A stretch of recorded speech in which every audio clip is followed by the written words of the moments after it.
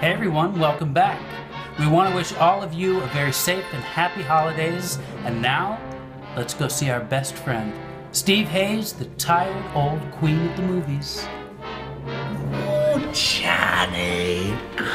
About time. Ah.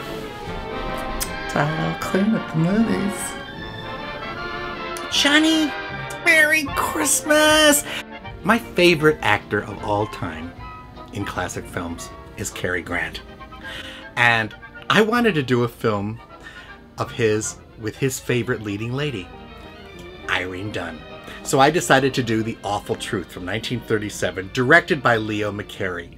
This is a screwball comedy. Now, Irene Dunne had come to Hollywood because she was playing Magnolia in the touring company of Showboat. Somebody saw her, they brought her out, and they cast her in this movie called Cimarron, which won the Best Picture Award early in the 30s, and she was an Oscar nomination, and she became an instant star. Well, darling. For the next five or six years, she starred in mostly women's stories, you know, uh, like A Magnificent Obsession. They were very, very serious dramas, you know, and usually some with somebody like Robert Taylor or Melvyn Douglas or someone like that. Well, then in 1936, they cast her opposite Melvyn Douglas in a play, movie called Theodore Goes Wild, which was a screwball comedy, and everybody suddenly realized that she could do comedy. Not only that she could do comedy, but that she was one of the great comedians in films. Had your mind all made up about me, didn't you? Well, they decided to put Cary Grant and she together for The Awful Truth, which is basically a story of a marriage uh, uh, that flounders. The whole thing's built on faith. If you've lost that, well, you've lost everything. At the beginning of the movie, these, this couple get divorced. Yes, I suppose when that's gone, the marriage is washed up, isn't it? They fight over custody as to who gets the, the terrier, Come on, fella. Here, Come boy. on, what's the matter? Don't pay attention, right? Come on, Smith.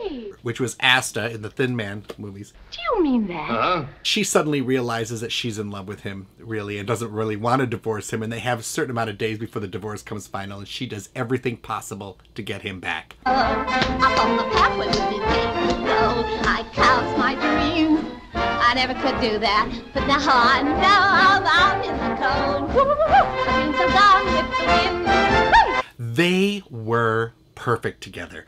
Her whole thing is she had a creamy sort of voice, you know, and her whole thing was that she laughed at Cary Grant all the time. Oh, that's too bad, Jerry. How did it hurt you much? It's very subtle with her comedy. He would say something and she'd go, uh-huh, uh, uh, uh. She's Oh, we've had some grand laughs together. and she could break your heart at the same time. She got five or six Oscar nominations in her career. She was just she could do anything. I'll always adore you. Till death do us part.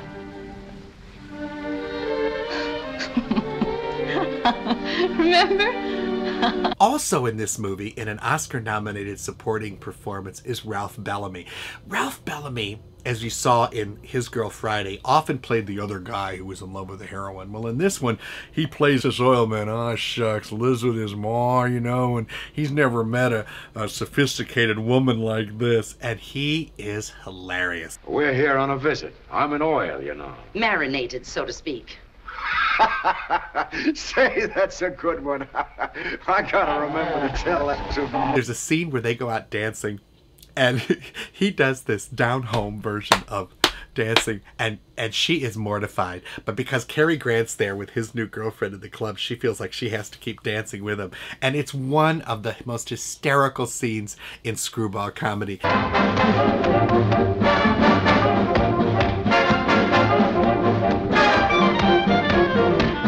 Later on where uh, she's living with her aunt. One of her ex paramours, the reason that Cary is, has left her, shows up unexpectedly. Well, every time I open the door, somebody walks in. How'd you do? How'd you do?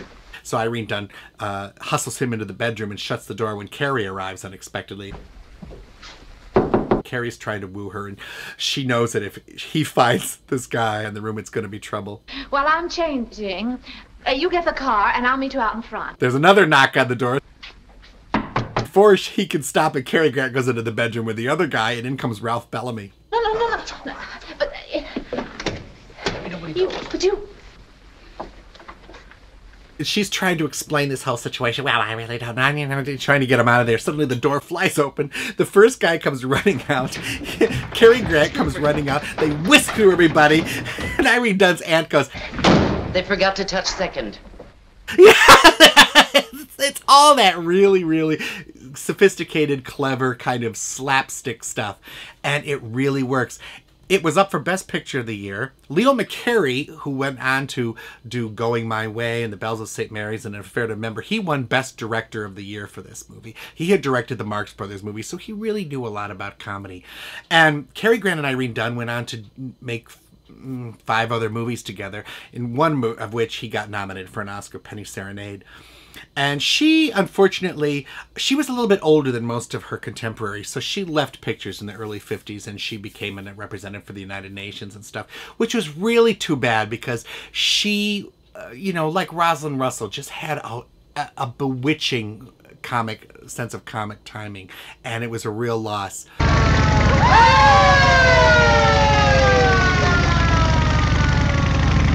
on, try it. Come on, it's fun. But I think you're gonna just love the all-out screwball hilarity of Cary Grant, Irene Dunne, and Ralph Bellamy in Leo McCarey's classic, The Awful Truth. Let's all go to the lobby. She's always, uh, uh, she had a really creamy voice, like, oh wow, that's really wonderful, you know. Delicious things to eat. The popcorn can't be beat.